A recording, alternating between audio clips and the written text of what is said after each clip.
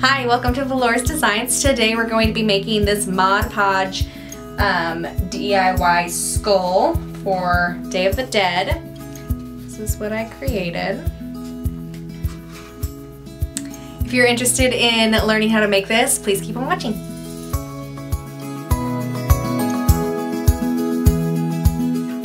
So the first thing you're going to need is a skull and a glue gun, a paintbrush of some sort, a dish, your Mod Podge, and your tissue paper and scissors. I have two different types of paper.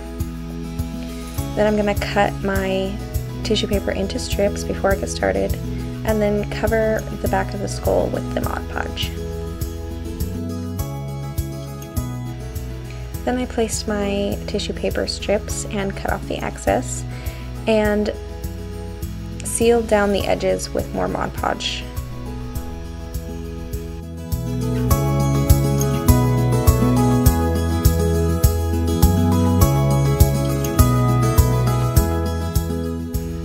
Continue placing your paper strips all the way down the sides of the skull and when you get to the edges just um, neatly fold your tissue paper.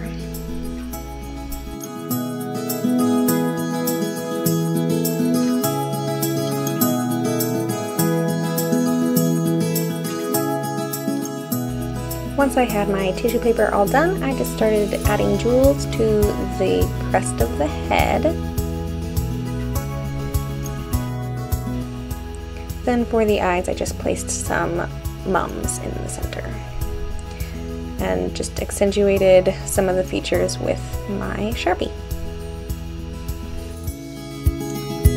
And that's it you guys. Thank you so much for watching. If you like this video, give it a thumbs up and subscribe. If you think you have friends that would enjoy making something like this, please share it with them or tag them in the comments. I really enjoyed creating this for you and I'll see you in the next video.